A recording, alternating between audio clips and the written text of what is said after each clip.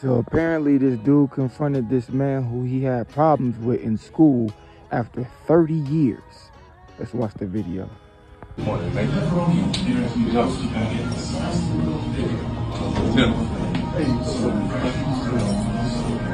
Oh, it's cold out there. Ooh, Mr. Mike, how you doing today, man? Well, Now, if I'm the dude getting my hair cut, this look right here would have put me on guard immediately. Let's keep it going. know you can go well, man. What, you went to Harvard Middle School? Jonathan fucking Freeman, man. Used to pick on me in goddamn gymnastics. I in gym class used to pick on me. Anthony knows. Y'all remember me? You don't Anthony? Man, I've been waiting on your ass for so long, bro. Let me tell you something. When you in school, fam, and you feel like somebody picked on you, bro, that's what happened in school. You know what I'm saying? Children don't know why they do these things. They may have been getting picked on at home. So for you to hold a grudge and not grow and not learn, right? First of all, you should have learned as a child, right? That things are different when you're an adult.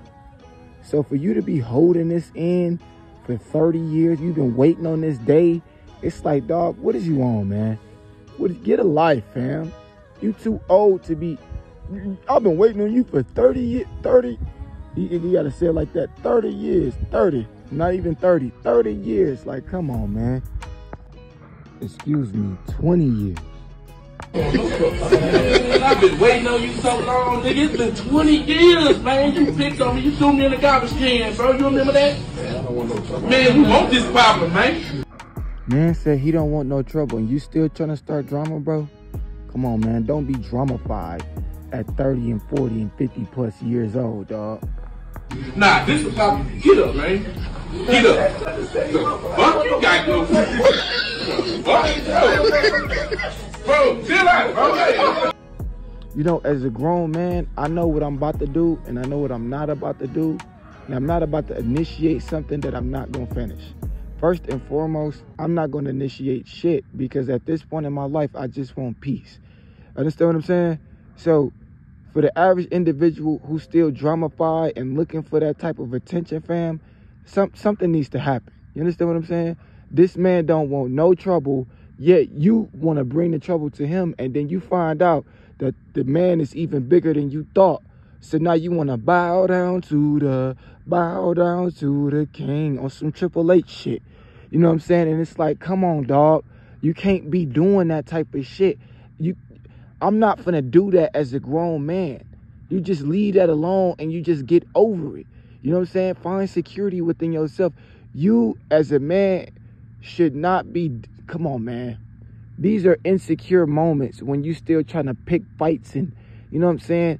Think about shit that happened in the past. You know what he did to me? Like, you need to find security within yourself, fam. It's over and done with. Let it go. Fucking God. Bro. Goddamn mom, bro. What you got going on, man? man? Look like you been big press a sumo wrestler, goddamn. Shit. Now, I don't know whether, you know what I'm saying, you want to relive your childhood traumas, but you reliving it once again, dog. I just want to let you know that. Hey, go back to business. Go back to business, man. Please, I don't, go, I don't want no problem. No problem, folks. Let me make it, man. Cut my hair today. I need you to cut my hair. Shit. All right, man. I'm gonna fuck with y'all, man. God bless you, man. Nah, fuck you, man.